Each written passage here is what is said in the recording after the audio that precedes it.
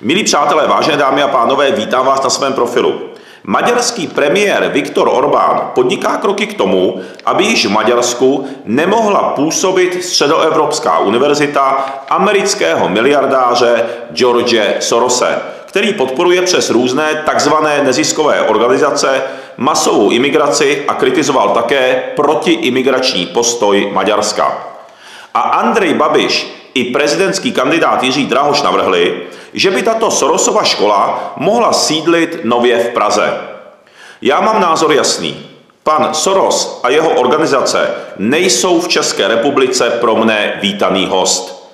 Jeho peníze a jeho organizace v úvozovkách ve jménu dobra a demokracie působí zlo a podkopávají štvavými kampaněmi a dalšími aktivitami demokracii na celé planetě.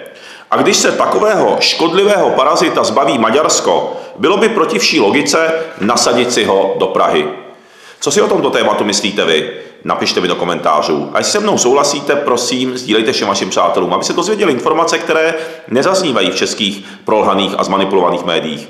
A já vám děkuji, že jste navštívili můj profil a přeji, se vám ve všem krásně daří. Mějte se hezky a držme spolu.